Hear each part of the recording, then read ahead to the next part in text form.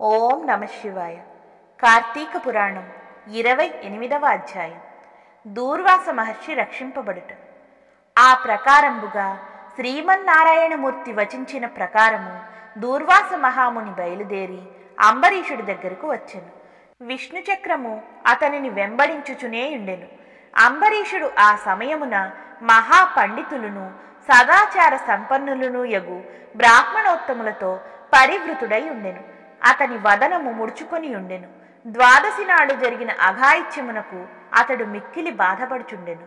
సరిగా ఆ సమయమున దూర్వాసుడు వగర్చుకొనుచూ వచ్చి ఓ అంబరీష శరణు శరణు భాగవతోత్తముడవని తెలిసియు అవివేకముగా వర్తించి తిని క్షమింపుము. ఈ చక్రాయుధము నన్ను వెంబడించుచున్నది. దాని భయముతో ముల్లోకములు చుట్టువచ్చి తిని నీవే రక్షింపవలయును అని దూర్వాసుడు అంబరీషుని వేడెను. అంబరీషుడు దూర్వాసుని చూచి వినయభావమును లేచి నిలుచుండెను. ఆసీనుని చేసి భయపడవలదని అతనికి అభయమసంగెను. అనంతరము చక్రాయుధమును గాంచి నమస్కరించి ఇట్లనెను. ఓ సుదర్శన చక్రమా నమస్కారము. దుష్ట శిక్షణ నీవు ఇట్లు బ్రాహ్మణుని వెంబడించుట తగదు. దయయుంచి భయకంపితుడైన ఈ దూర్వాస మహామునిని క్షమించి రక్షింపుము. నీవు సర్వశక్తి బలసమన్వితుడవు. ముల్లోకములలో ఏదియూ నీకు సాటి రాదు. అట్టి నీకు మా వంటి వారి మీద ఎందుకింత ఆగ్రహము? శరణిచ్చిన నన్నును శరణు పొందిన దూర్వాసుని రక్షింపుము. ఈ విధముగా అంబరీషులు పలు రీతులు ప్రార్థనలు సలుపగా చక్రాయుధము పురోగమనము నాపి అంబరీషునితో ఇట్లనెను. ఓ అంబరీష నీవు పరమ ఉత్తముండవనియు భక్తాగ్రేసురుడనియు తెలిసి దూర్వాసుడు ఈ విధముగా అవివేకమును మెలంగెను.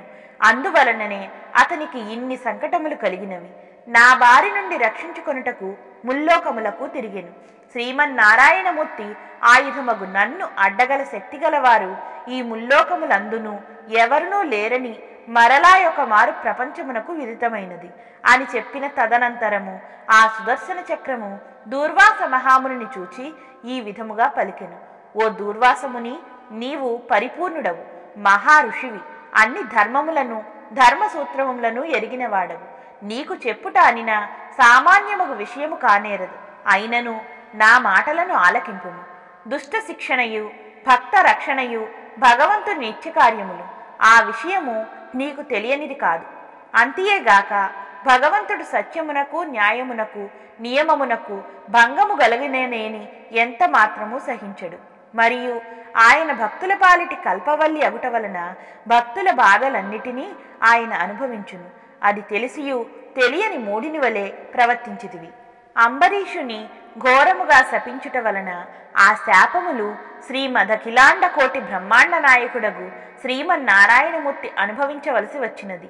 అయినను నీవు బ్రాహ్మణోత్తముడవు. కావుననే నీ నోటి నుండి వచ్చిన ఘోర శాపములు శ్రీమన్నారాయణమూర్తి అనుభవించ సిద్ధమై లోకోపయోకరమగు పది అవతారములు ఎత్తి విశ్వకళ్యాణమసంగనున్నాడు ఓ దూర్వాస మహర్షి ఇవి నీకు తెలియని ధర్మములు గావు. అయినను నీవు ఎరుగవలసిన దుర్గతి పట్టినది. దురాగ్రహము వలన నీవు యుక్తాయుక్త విచక్షణ జ్ఞానమును పోగొట్టుకుంటివి. మహాభక్తుని దూషించితివి పవిత్రమగు ద్వాదశి పారాయణములను కాలతన్నితివి అందునకే నీకిట్టి సంకటములు దాపురించినవి. కావున ఓ మహర్షి గమనించితివా? భక్తులకెట్టి సహాయము లభించినదో? విష్ణు మహిమ వారికి సౌలభ్యపడును. ముల్లోకములందును దానికి ఎదురులేదని ఎరుంగుము.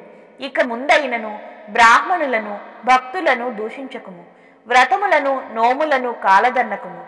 విష్ణుప్రీతి శివప్రీతి కరములగు కార్తీక మాసమున దీపారాధనమును ద్వాదశి పారాయణమును మహాముక్తిప్రదములు శక్తివంతములు అని ఎరిగి వాటి ఎడ భక్తి శ్రద్ధలు కలిగియుండుము మరియు ఓ దూర్వాస మహర్షి పురుషార్థములకు ధర్మము అర్థము కామము మోక్షముల నొసంగునట్టి పవిత్ర వ్రతము సంతోషప్రదమునగు విష్ణు భక్తిని ఎన్నడూనూ విస్మరించకుము.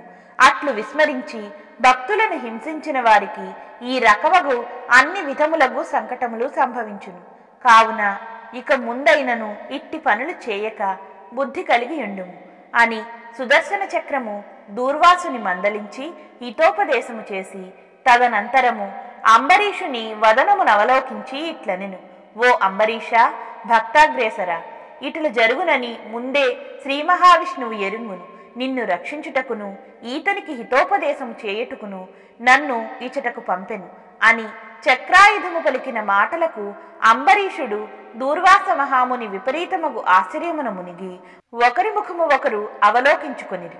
తదనంతరము ఇరువురును మహాభక్తి భావమునను వినయ భావమునను చక్రాయుధమునకు సాగిలపడి బహుముఖంబుల స్తుతించిరి. వారి ప్రార్థనలు విని చక్రాయుధము అమందానందము పొంది వారిని ఆశీర్వదించి అదృశ్యమాయను. కావున ఓ జనక మహాచక్రవర్తి నిరంతరం భగవన్నామ స్మరణలో తేలియాడు నీవు.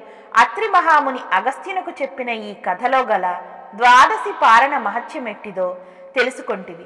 కావున నీవును ఏకాదశి నాడు ఉపవసించి ద్వాదశి ఘడియలలో బ్రాహ్మణోత్తముల రావించి పంచభక్ష పరమాన్నాదులతో వారిని సంతోషపెట్టుము. నీకు శుభములు కలుగును అని వశిష్ఠుడు చెప్పెను. కార్తీక పురాణం ఇరవై ఎనిమిదవ అధ్యాయం సంపూర్ణం.